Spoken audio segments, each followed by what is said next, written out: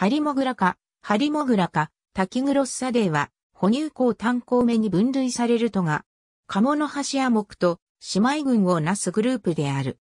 ハリモグラ科には、ハリモグラ属のハリモグラと、ミユビハリモグラ属に属する3種の計4種が原生である。英語圏ではエキットナ、またはスパイニーアンティッターと呼ばれる。ハリモグラはオーストラリア及びニューギニアに、ミユビハリモグラ属はニューギニアに分布する。以下の分類、英名はグローブスに従う。和名はカワタラに従う。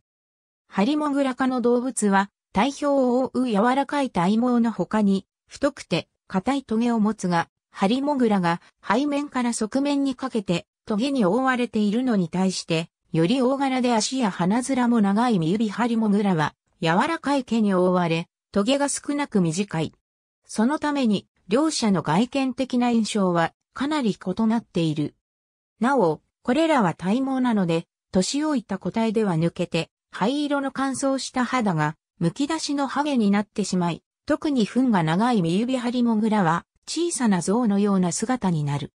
これは、炭鉱類全般に言えるが、体温調節機能が低いため、外気温に体温が影響されやすく、ハリモグラは毎年4ヶ月ぐらい冬眠状態で過ごす者もいるが、それでも周囲の気温と完全に同じではなくわずかに高い。目は小さく、視覚はネズミと同程度。耳の穴はかなり大きいが自戒がなく、外からは見分けづらい。